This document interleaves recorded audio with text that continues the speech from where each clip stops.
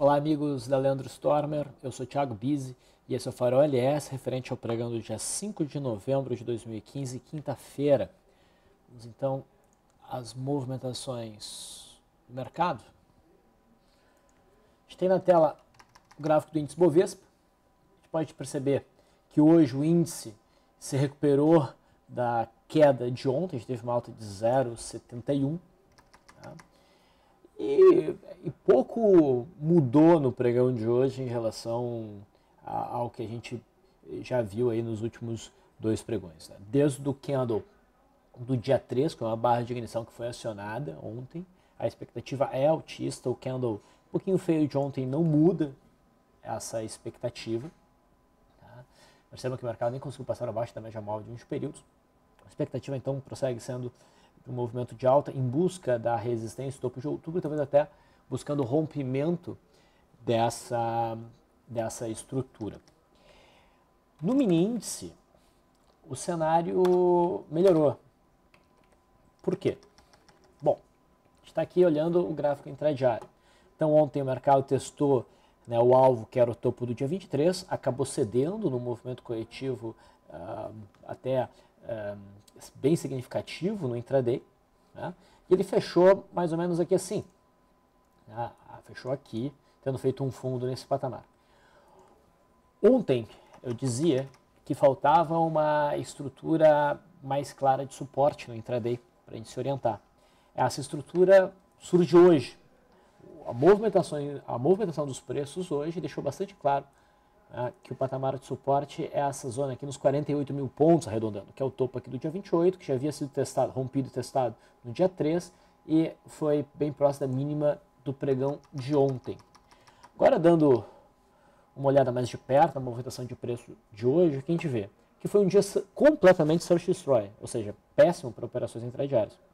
O mercado abriu logo acima da, da linha d'água, de forma bem morna, com baixo volume, passou para baixo da linha d'água, passou para cima da linha d'água, passou para baixo, passou para cima, passou para baixo, e assim foi ao longo de todo o dia. Então, esse, esse, esse passa para cima, passa para baixo da linha d'água, logo de imediato no, no, na abertura, sem gap, uh, enfim, não encaixa para nenhum setup, não teve enquadramento em setup no pregão de hoje, e acabou se desenhando em um retângulo bem interessante que deixa as coisas mais claras, provavelmente para o pregão de amanhã, sexta-feira.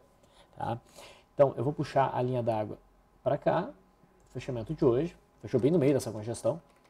A resistência então fica bem clara, por volta aqui dos 48.600 pontos, um rompimento dessa região no intraday provavelmente nos oferecerá um bom ponto de entrada no gráfico do mini índice em busca lá dos 49.500 pontos.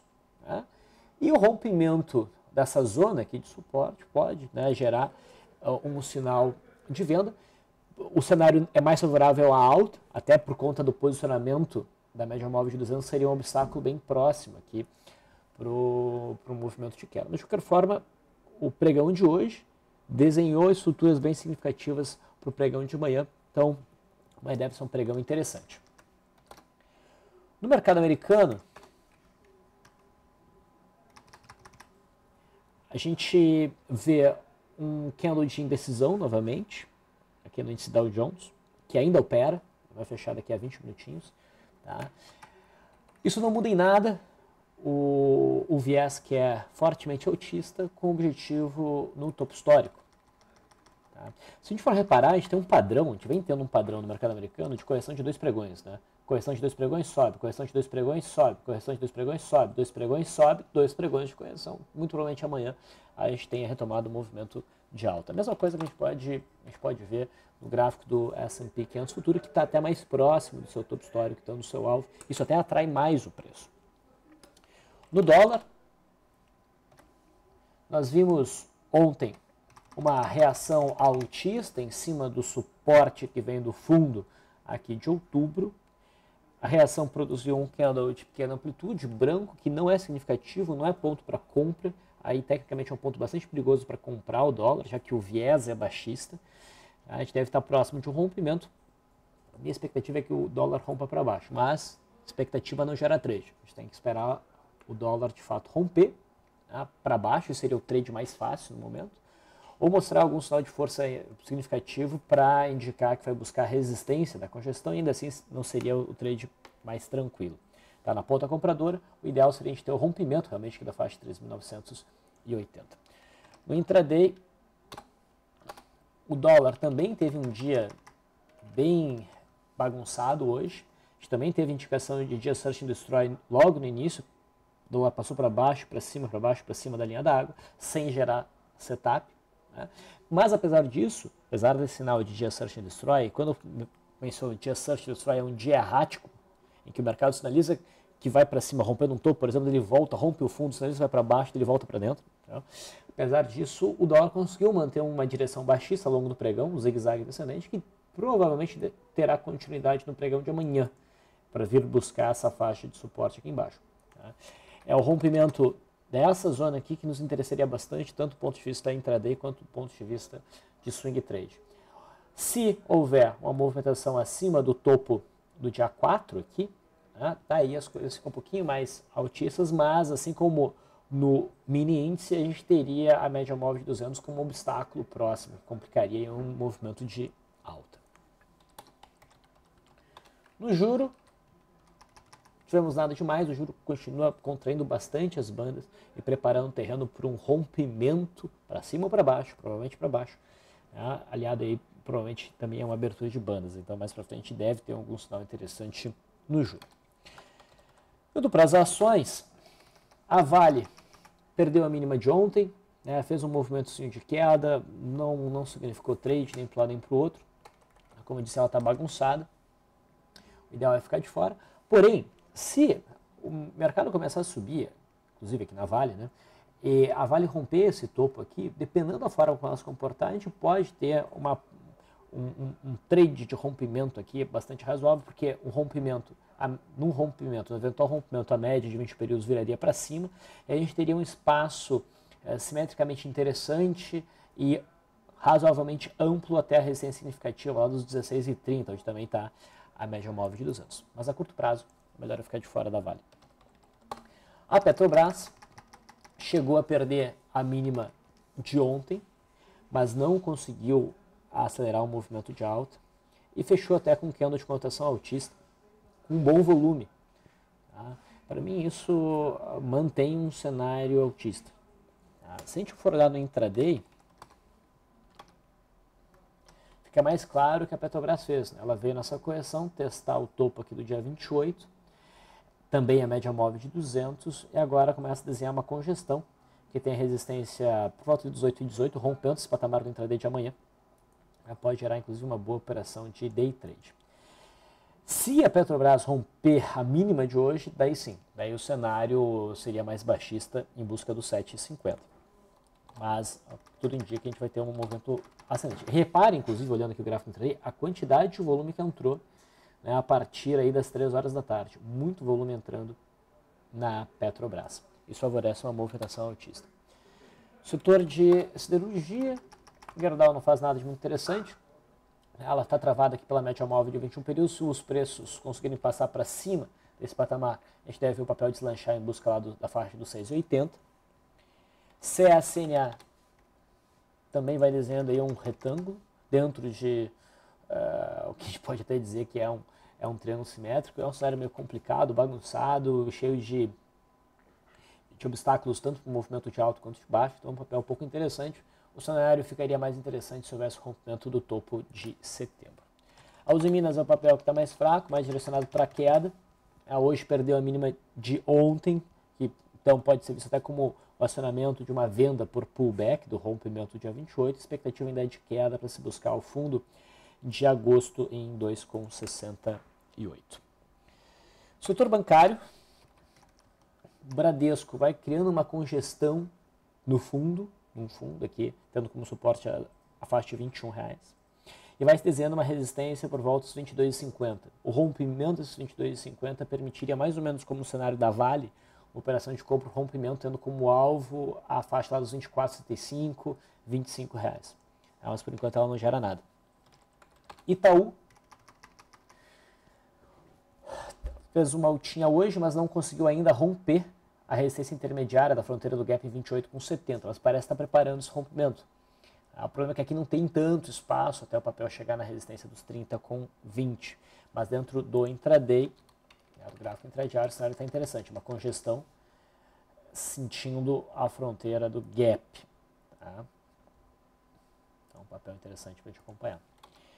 Banco do Brasil, ontem acionou tá? uma barra de ignição, fez um candlezinho um pouco feio ainda ontem, hoje ignorou completamente, fez uma boa alta e deve continuar esse movimento de alta para bater aqui no topo de outubro em 18,50 e possivelmente até romper esse patamar.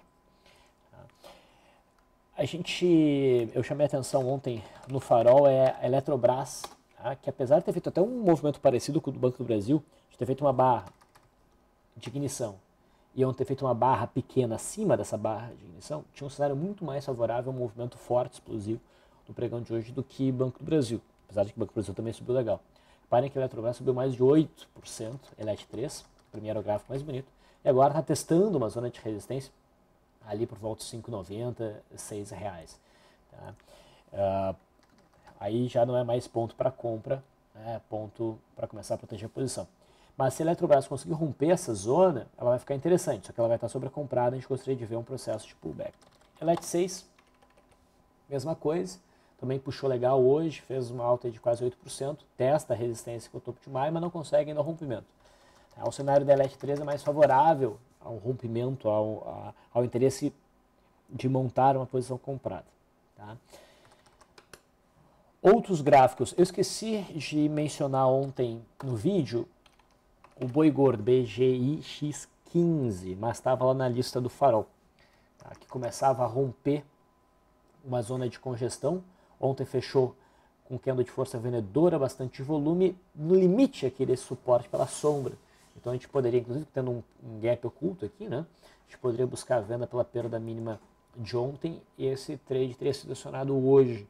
Boas chances do papel acelerar. E é mais ou menos o mesmo cenário, não é exatamente o mesmo, mas lembra um pouco o cenário de Banco do Brasil e Eletrobras, onde a gente tem uma barra mais forte, que tem, um, uh, tem uma importância pelo seu posicionamento e pelo volume, e o candle de hoje é um candle de pequena amplitude, tá? que fica acima do fechamento, nesse caso, abaixo do fechamento de ontem. A perda mínima de hoje seria mais um sinal de venda que poderia tornar uma barra maior.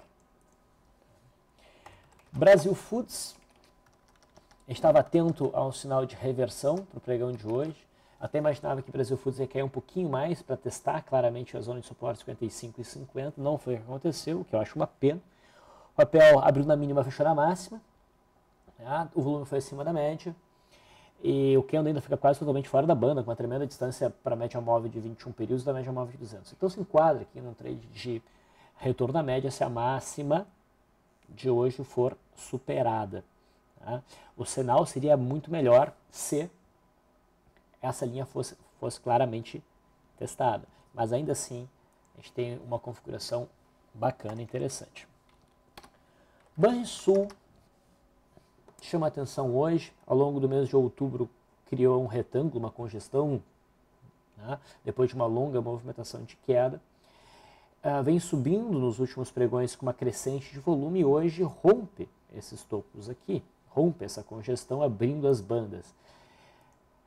É rompimento de uma congestão, rompimento para cima de uma congestão num fundo. Estatisticamente tem bons resultados no rompimento que nem esse, simetricamente tem bastante espaço para o papel fluir.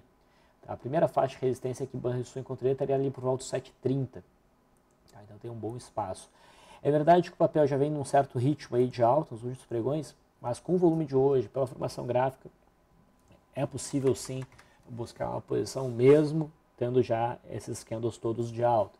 Só que não pode acontecer é trabalhar um stop muito curto, abaixo da mínima da barra de hoje, porque no eventual, uma eventual balançada, talvez até para um pullback, a gente poderia ser estopado por nada. O ideal seria trabalhar o stop abaixo da mínima do dia 4. Então esse papel realmente está bem interessante. CETIP e hipermarcas, é, no pregão do dia 3, abriu um forte gap de alta, bastante volume. Que a gente havia mencionado lá é que o movimento mais provável para esses papéis seria um movimento lateral, né, criando aí uma ilha, que geralmente tem 3 a 4 candles para depois o papel se definir, na maior parte das vezes define a direção do rompimento. Então não eram papéis para pensar em venda. Ah, e a gente completa hoje três candles laterais em CTIP em, e, e em intermarcas. Tá? Então eles não estão gerando nenhum setup, Só estou frisando, especialmente hipermarcas, que apesar de ter esse candle fora da banda, tá? não é um sinal de reversão, o volume é muito fraco. Se houver uma correçãozinha, a mínima aqui da, do gap, a primeira fronteira de gap, por volta dos 20,50, 20,45, provavelmente seguraria o papel. Tem que ficar atento até no intraday, porque uma, um teste dessa região poderia ser visto como uma, uma oportunidade de compra, principalmente para o intraday. Em hipermarket especial, a gente pode pensar até em compras no rompimento intradiário da máxima desses últimos três pregões. Tá? E em CETIP também vai se consolidando o patamar de suporte entre os 36,20 e os 35,70 por conta do gap aberto. O papel vem consolidando também acima da resistência de julho e agosto. Isso aqui provavelmente vai realmente criar uma congestãozinha que vai fazer às vezes de um pullback depois o papel vai tomar um movimento de alta. Eletropaulo, setor elétrico, desconfigurou aquele desenho de cunha que a gente estava vendo. Tá? Faz isso com gap, com muito volume desde o pregão de ontem. Com isso rompe também uma linha de referência que nós tínhamos aqui. Ele fica com uma cara de uma barra de tensão associada a um gap, é um cenário de gap de fuga. Então a perda da mínima de hoje do pregão de amanhã para o meu modelo né? gera uma venda de swing trade com stop acima da máxima de hoje. Eternit. Pela primeira vez perdeu uma mínima, né, desde o rompimento que nós vimos no dia 23. Né, lá se foram uh, 20% de alta com a abertura de hoje. Deixa eu ajustar esse gráfico porque hoje tem um pagamento de, de provento. Então vou ajustar só o provento aqui, só para a gente ver o valor real. Esse teria sido o movimento. Então, 20,80% de alta desde o rompimento e o encerramento teria se dado a 2,64 com quase 15% de alta. Tá? Então esse trade de swing se encerra. Não é momento para compra ainda. A gente precisa ver uma correção até a média móvel de 21 períodos para o cenário ficar interessante novamente, aqui nas proximidades de 2 e 7. Marco Polo foi, foi uh, chamada a atenção ontem com um papel mais bonito, um rompimento bem bacana, que valia bastante a pena entrar. Hoje o papel subiu quase 10% e provavelmente entregou o que tinha que entregar de imediato. A partir daqui o papel já terá bem mais dificuldade de prosseguir o movimento de alta, visto que chegou na média móvel de 200 esticado. Mas esse movimento de alta provavelmente prossegue, talvez depois de alguma correção. Tá? Então o trade fluiu muito bem. Randon também vai se movimentando, mas não chegou a gerar um trade. Randon ainda tem um pouco de espaço para subir, a resistência está lá em 13,30. Qual 3? A princípio, olhando esse gráfico, não parece muito interessante, mas esse é um daqueles raros casos onde eu quero olhar o gráfico ajustado. Tá? O gráfico ajustado me parece fazer bastante sentido nesse papel. Esse é o gráfico ajustado por proventos. Então a gente percebe que ali na faixa dos 13, 30, a gente tinha um fundo bem importante em 2013 que foi novamente testado. Tá? O que a gente vê é algo muito próximo de um ombro, cabeça a ombro. No gráfico ajustado a gente tem uma resistência em gap em 16,50 que está sendo que é, foi respeitada ao longo desses últimos dois meses e que hoje está sendo rompida com bom volume. Rompimentos da próxima média móvel de 20 períodos e simetricamente a gente tem um bom espaço para movimento de alta. Mesmo que eu venha a tirar o ajuste, a gente teria aí algum argumento de compra, porque a gente tem essa congestão em gap, ela está sendo rompida para cima na direção da média móvel de 20 períodos. Se tu for olhar o obstáculo que a gente teria no gráfico sem ajustes, está lá na casa dos 18, 18 e 10, então tem espaço até lá. Então, parece um papel bem interessante uma operação na ponta compradora. Smiles já nos chamou atenção ontem, né, ali nos papéis uh, elencados no farol, né, como possíveis trades, a gente tinha uma compra na superação na máxima de ontem, essa compra teria acontecido, teria fluído bem. E o candle de hoje, por estar rompendo o topo de outubro, é também um novo sinal de entrada. Reparem que a gente não tinha ainda abertura das bandas, hoje a gente tem abertura das bandas. Tá? Uh, eu trabalharia pela superação da máxima do pregão de hoje, no pregão de amanhã, sexta-feira, como sinal de compra poder trabalhar o stop abaixo dos 32,40, Como as bandas estão bem estreitas, esse papel tem um potencial explosivo bem grande. Tá? Não dá para ignorar Smiles. TRPL, papel que a gente vai acompanhando, né? Tá vendo uma forte alta. Hoje deu uma respirada, formou um doji, totalmente fora das bandas, mas não é um sinal de reversão forte. Tá? É claro que pode estar finalizando o movimento, mas não chega a ser um sinal para se abrir uma operação short. O volume é mais baixo, o que anda de dúvida, não de reversão. Tá? A gente segue então atento, torcendo para que o papel faça um recuo para testar um desses dois patamares rompidos e daí a gente vê nisso um pullback do rompimento de topo histórico, que é sempre interessante. E por fim, a VEG, dois pregões atrás a gente viu um sinal de compra, né? Retorno na média. Uh, não era minha preferência de papel. Ontem balançou, não ficou muito bonito, mas hoje deu uma bela uma puxada. Quem entrou já, já conseguiu atingir o alvo e agora o papel vai testando a resistência dada pelo fundo anterior rompido e por essa fronteirinha aqui de gap. Mas o trade, o lucro aí já está garantido. Então, pessoal, esses foram os papéis que mais chamaram a atenção no pregão de hoje, quinta-feira. Eu vou encerrando por aqui. Agradeço a audiência de vocês. Até amanhã.